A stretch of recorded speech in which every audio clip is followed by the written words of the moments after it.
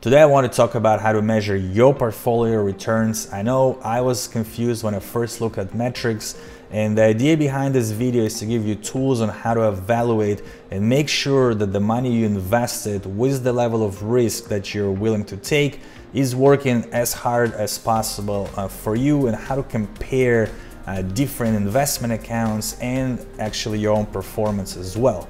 So a few years ago, my friends started working for Wealthsimple, which is robo-advisor, and I had a bit of cap space uh, from back in the day in my RRSP, even though I don't use that as an, uh, a retirement sort of vehicle. Uh, but I decided to try the interface and how it all works with robo-advisor, so I dumped uh, the cap I had around 19,000 into that account. So today, let's look at it and see how it performed uh, during this two and a half year time. Okay, so when you log in, you'll see the account value, the monetary return, and 6.1%. But when I click returns, there's different ways how that can be calculated. So if it's money weighted, it's way higher, time weighted is lower.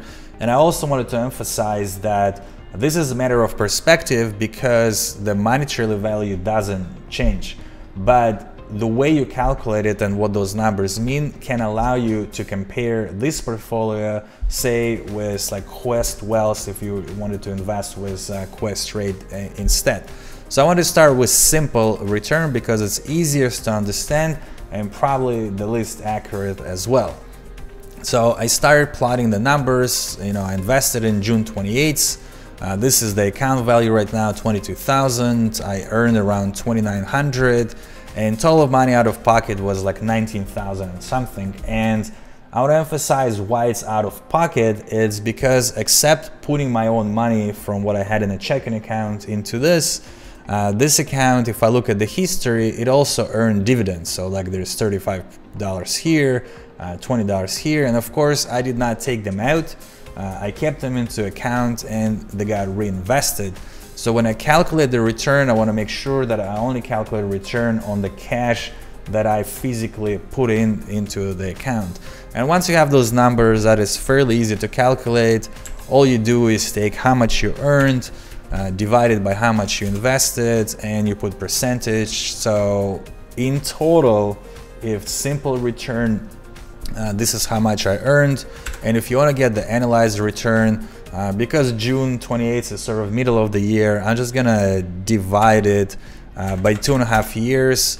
So my annualized return is like 6.09. Uh, so, you know, it's 6.1%. Uh, it's just because I divided by 2.5%.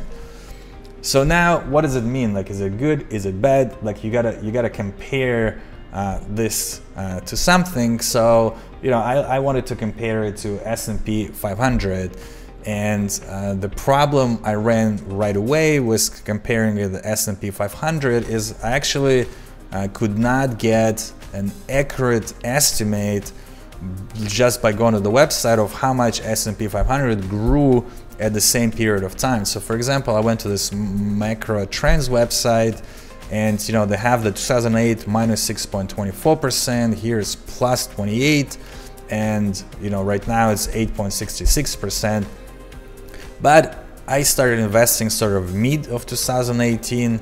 I'm not sure till what time uh, those numbers work. And then I went to our calculator and I tried to put July and September, uh, which gave me like a total return of 20%. But if I reinvested the dividends, it's 25% with like almost 11% annualized. So of course, when I look at my 6.1%, I start to be like, oh my God, like this is underperforming S&P 500 by like literally 100%. So am I, uh, you know, just stupid to keep my money uh, here? Should have just bought the S&P 500? Uh, perhaps.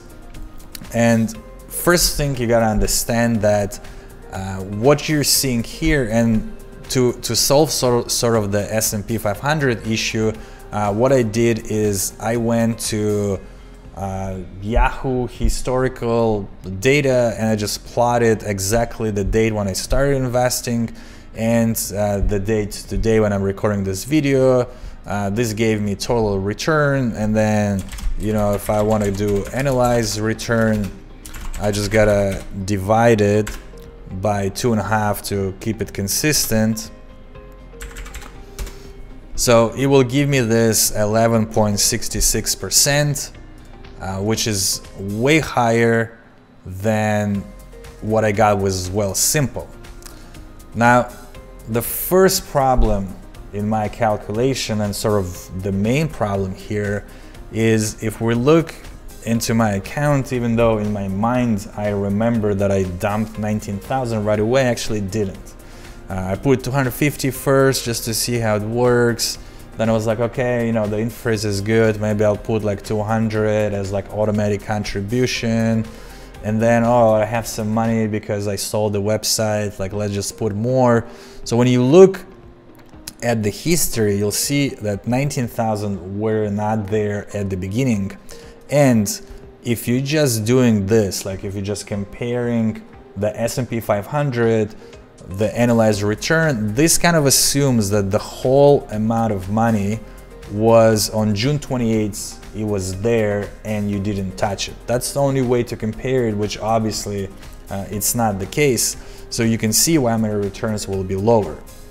Now, the next problem with that, it's not only that I've put the money in and then, okay, like at some point I just stopped touching it.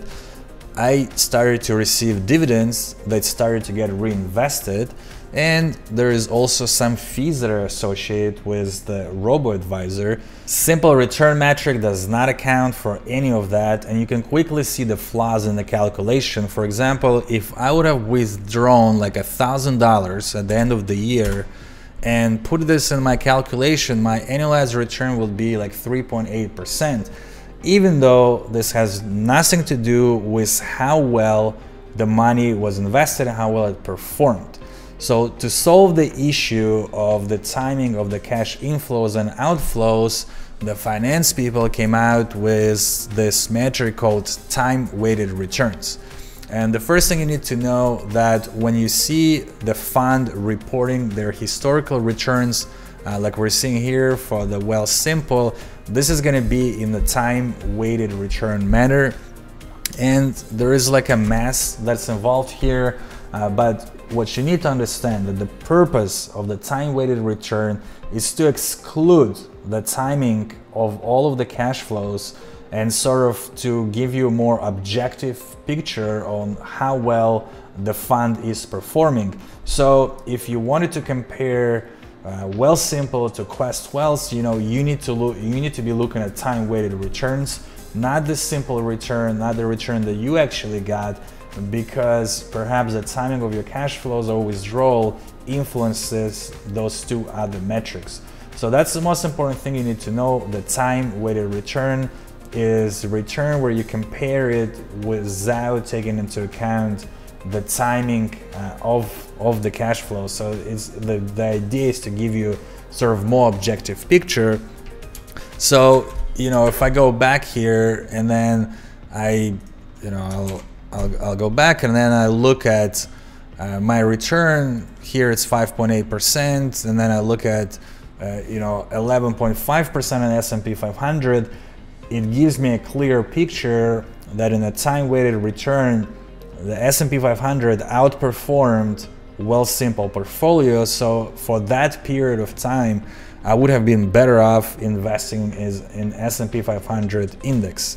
Now the problem with time-weighted returns is those cash flows do exist because you know hopefully you're depositing money into your account and depending on what day you deposited, could be red day, green day at the stock market, uh, you're paying fees to your brokerage, you're getting dividends that get reinvested, perhaps even withdrawing uh, money. So to account for sort of all of this and account for more of like your performance, there is a metrics called money weighted uh, returns. So if I click on it, you'll see that my returns actually go up to 8.3%.